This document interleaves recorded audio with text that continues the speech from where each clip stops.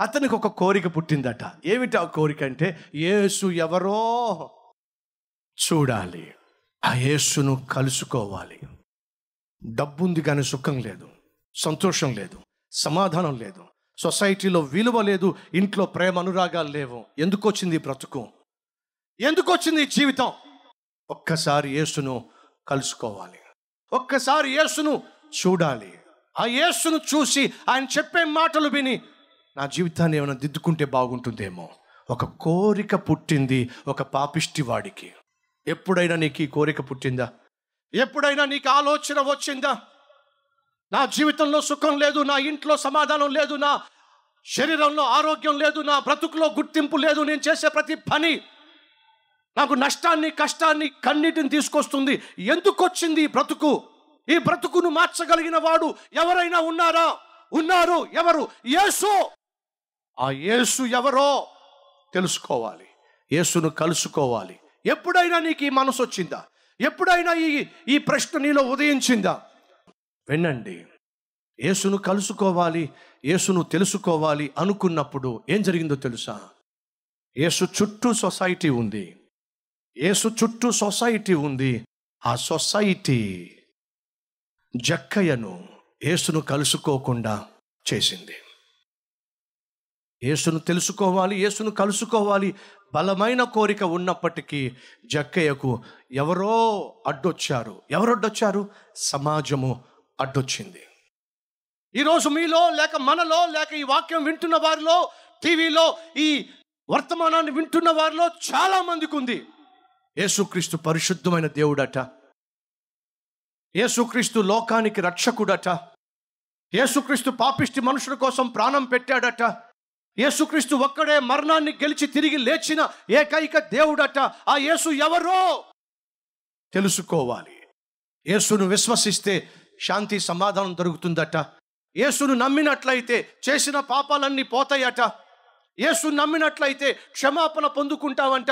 యేసు నమ్ముకున్నట్లయితే చచ్చిపోయిన తర్వాత పరలోకం దొరుకుతుందట. ఆ యేసును నమ్మాలి. ఆశ చాలామందికి ఉంది. కోరిక చాలామందికి ఉంది. కానీ సొసైటీ అడ్డొస్తుంది. సమాజము అడ్డొస్తుంది. కులము అడ్డొస్తుంది. వాళ్ళ మతము అడ్డొస్తుంది. సిద్ధాంతాలు నమ్మకాలు మూఢనమ్మకాలు విశ్వాసాలు అడ్డొస్తున్నాయి. కాబట్టే యేసు ఎవరో తెలుసుకోవాలి? ఆశ ఉన్నప్పటికీ ఎందుకు యేసు దగ్గరికి రాలేకపోతున్నారో తెలుసా? మా వాళ్ళు ఏమనుకుంటారో? మా బంధువులు ఏమనుకుంటారో?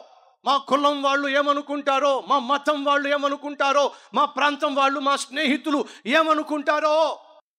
మా పూర్వీకులు క్రైస్తవులు కాదు. సృష్టిని పూజించిన వారే. సృష్టిని పూజించినటువంటి మా పూర్వీకులు. ఆ తరువాత ఈ సృష్టిని సృష్టించిన దేవుడు ఎవరో గుర్తించగలిగారు. అలా గుర్తించి ప్రభువు నమ్ముకున్నాం. అలా ప్రభువు నమ్ముకున్న పుణ్యానికి మా కులస్తులు మా కుటుంబాన్ని వెలివేశారు. మీరు ఫలానా కులమై ఉండి ఫలానా వాళ్ళై ఉండి మీరు వెళ్ళి వెళ్ళి వాళ్ళ దేవుణ్ణి వీళ్ళ దేవుణ్ణి నమ్మి ఆ దేవుణ్ణి మన ఊర్లోకి తీసుకొచ్చేశారు. వెలివేయండి! మా కుటుంబాన్ని వెలివేశారు. ఊరు బయటకు తోలేశారు. కారణం తెలుసా? క్రీస్తు నమ్ముకున్నామని చెప్పి. ఎస్ ఆ వెలివేత అంటే ఏమిటో నాకు బాగా తెలుసు. మా అమ్మమ్మ చనిపోయినప్పుడు మా కులం వాళ్ళందరూ కలిసి ఏమన్నారు తెలుసా? శవం కూడా చూడకండి. ఎందుకని? మన మతం కాదు మన విధానం కాదు మన వాళ్ళ ఉండి వెళ్ళి వెళ్ళి ఆ దేవుణ్ణి నమ్ముకున్నారు కాబట్టి మన వాళ్ళు ఎవ్వరూ కూడా శవం కూడా చూడడానికి వీల్లేదు. కనీసం మా కులం వాళ్ళు ఎవ్వరూ కూడా అమ్మమ్మ చనిపోయినప్పుడు దగ్గర కూడా రాలా. కారణం తెలుసా? వెలివేత. యేసును నమ్ముకుంటే వెలివేత. యేసును విశ్వసిస్తే వెలివేత ఎంత దారుణం అండి నీకు ఇష్టమైన కూర తినే హక్కు నీకుంది. నీకిష్టమైన వస్త్రములు ధరించే హక్కు నీకుంది. నీకిష్టమైనటువంటి వాచ్ పెట్టుకునే హక్కు నీకుంది. నీకు ఇష్టమైన చదువు ఎన్నుకునే హక్కు నీకుంది. ఇష్టమైన ఉద్యోగం చేసే హక్కు నీకుంది. ఇష్టమైన వాహనం కొనే హక్కు నీకుంది. ఇష్టమైనటువంటి ఇల్లు కట్టుకునే హక్కు ఉంది. ఒక మనిషికి తన కను తనకిష్టమైన విశ్వాసాన్ని తనకిష్టమైన దేవుణ్ణి నమ్మే హక్కు లేకపోవడం అడుగుతున్నాను. మానవత్వం అంటారా ఇది?